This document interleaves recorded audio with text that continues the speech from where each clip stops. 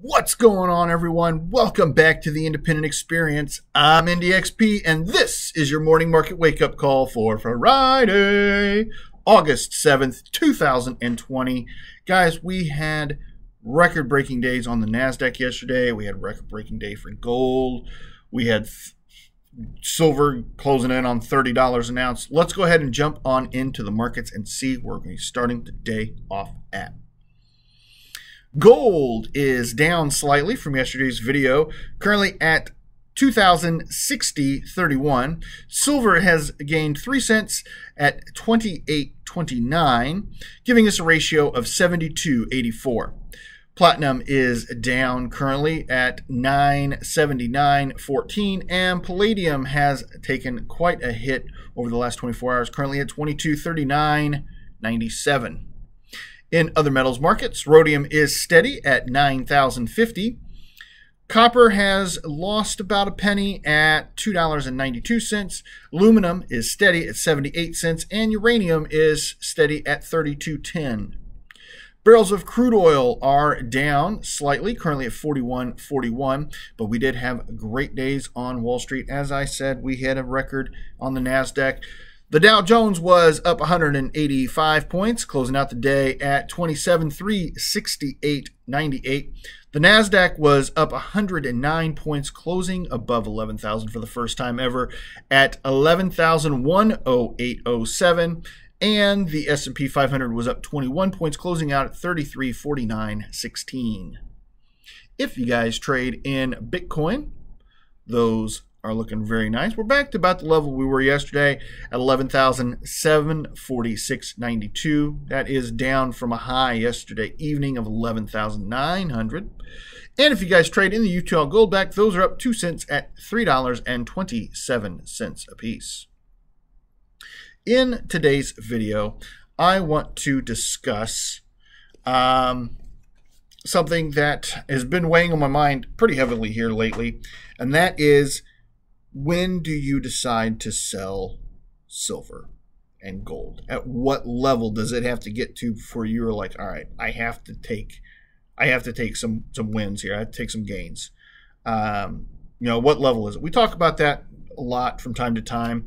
You know, I think the last time I had a really serious discussion with with a lot of people in the community about it was probably seven, eight months ago, beginning of the year, probably before we had the downturn you know. And I've always said, you know, thirty five dollars. That's where I, you know, I'm gonna I'm gonna cash out. That's where I'm gonna go.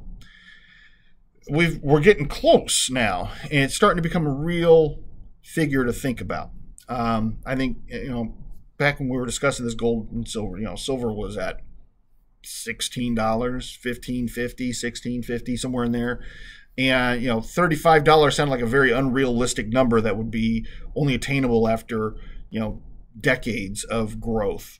Uh, but now it's it's a very real number to have to think about because you know we're coming up on you know we, we neared thirty dollars an ounce yesterday in in silver and we're still around eighteen twenty five so uh, turning twenty eight uh, twenty five sorry and you know we're seeing these these big jumps in the price of silver and gold and you know so it, it it's time to take another hard look at at what level do you decide you're going to sell.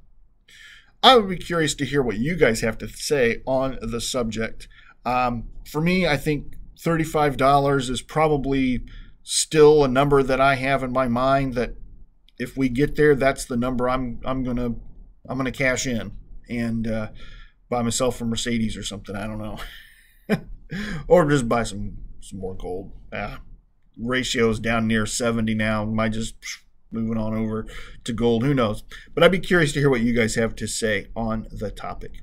Speaking of converting things into gold, it's Free Gold Friday.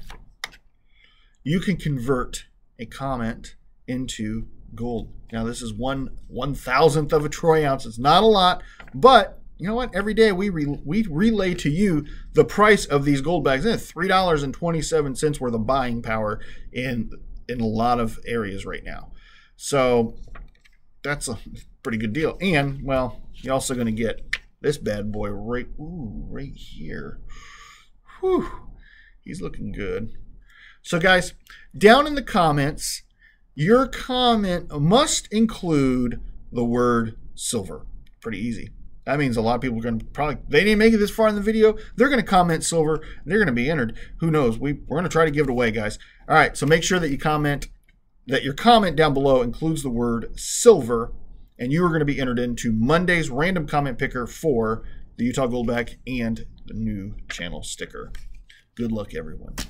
Guys, I do greatly appreciate every single one of you. And if you happen to appreciate old Indy XP, go ahead and hit that thumbs up button for me right there. It helps me out immensely. If you happen to be new to the independent experience and you want to keep up to date on when all the latest and greatest content is coming out, go ahead and consider hitting that subscribe and jingle jingle bell right there in the corner, bing bong, so you can keep notified of when all new great content is coming out. Uh, well, not not this part yet. This part, we got the box right here. I I hate this box. I can't get the hands right ever. Right here. This is going to be the latest and greatest video. You're going to want to check that one out at the end of this one. Now it's time for the outro. Guys, I've been Indy XP from the Independent Experience, and I'm here again to remind you if the women don't find you handsome, they should at least find your pockets heavy.